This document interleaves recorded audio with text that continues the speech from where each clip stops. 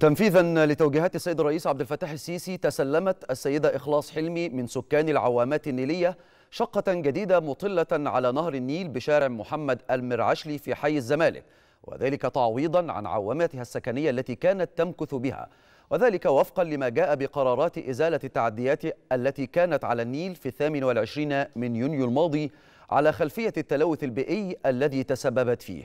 من جانبها أكدت إخلاص أنها تسلمت الشقة التي اختارتها بنفسها حيث عرض عليها عدد من الشقق المطلة على النيل مشيدة بموقف السيد الرئيس عبد الفتاح السيسي من استغاثتها وتلبيته الفورية لندائها.